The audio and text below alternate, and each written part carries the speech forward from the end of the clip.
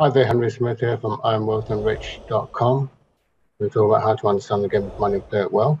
Welcome to today's video update. So what I'm doing is updating the cryptocurrency portfolio, something I've been doing since 2020, uh, 2021, February 2021. The portfolio was actually started before uh, 2021. It started last summer in 2020, but I uh, decided to start documenting it and updating it and docu- video on the documentation this year. Make sure you stay to the end of this video because I always talk about something after the update. Before I start, it's important to let you know that this is not a financial advice video. So, uh, disclaimer, I'm not a financial advisor, financial planner. So do not um, do your own due diligence, your own research.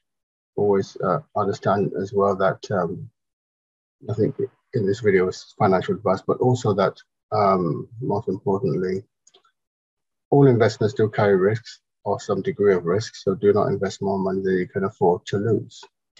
With that, I'm going to share my screen and um, do the updates. The spreadsheet I've been using for the last several months and um, got three main columns, the altcoin column, the Bitcoin column, and the totals column.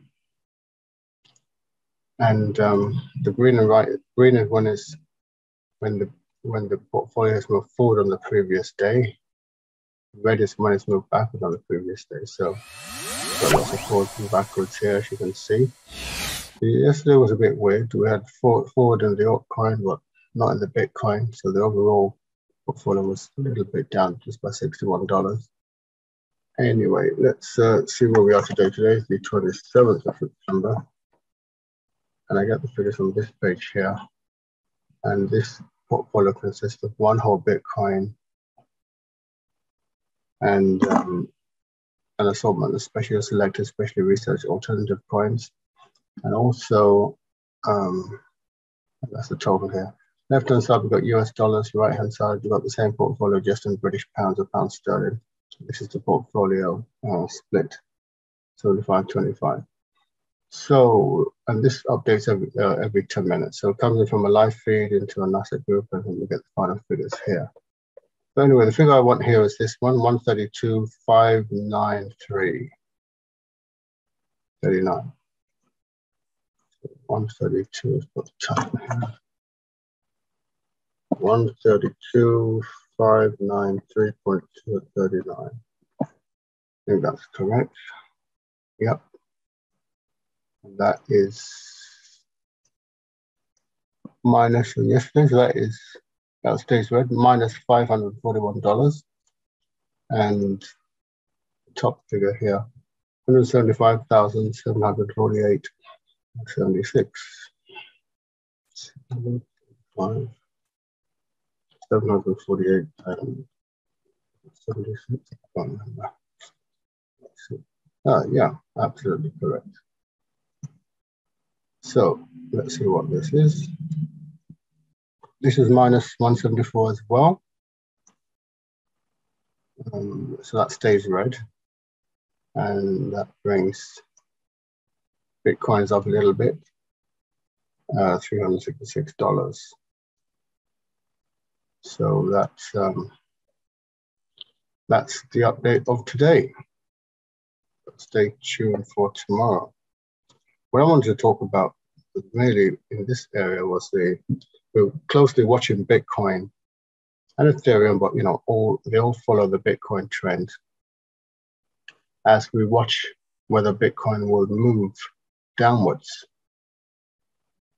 Um, you know, there are quite a lot of very powerful trends that are moving against Bitcoin, making it more likely that it will move towards the downside.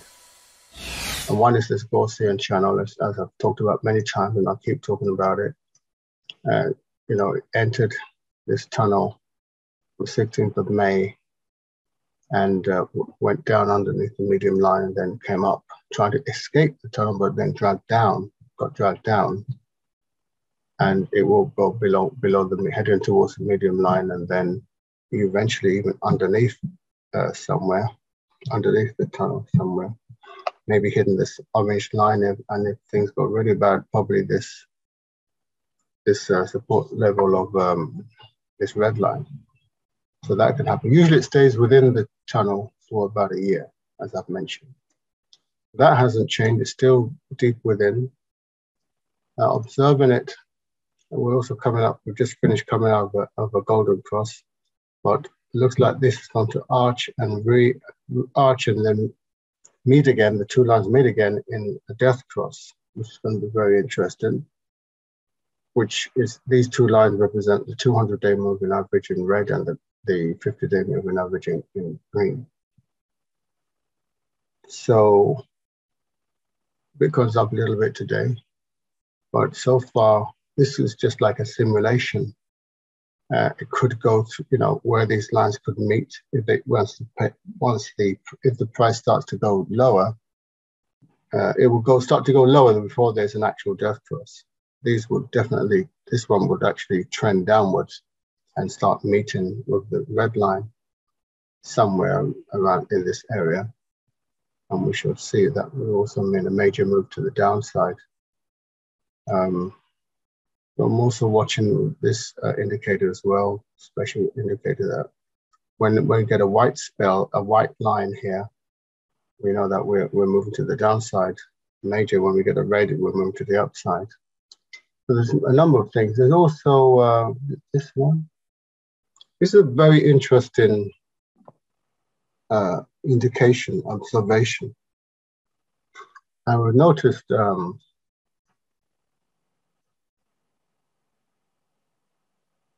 when when there's like a, what we call a hammer, like here, this was a hammer candle, so these are candles. These are six month candles. So I've got it on the six month time frame looking at Bitcoin. And in this kind of, when there's a hammer, what we call a hammer, this was kind of like a hammer down here. And after that hammer, we get that uptrend. When during this hammer here, after the hammer, we got an uptrend.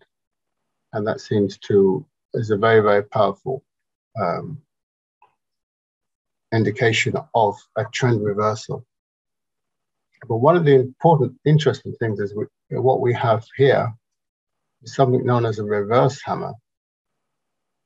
Okay, and that is a very strong indication that this candle here, which is not finished printing yet, can be involved in a very powerful downtrend when the um, hammer like this is inverted. Now this com- um, this candle here, this is a Ju- July, since started in July, has got um, three months and five days before it's completed, as you can see on the left-hand side. But so within that time, we should know whether it's going to respond to the downtrend pulling power of this candle here. So, like I said, a lot of interesting things pointing towards uh, an initial downtrend of Bitcoin.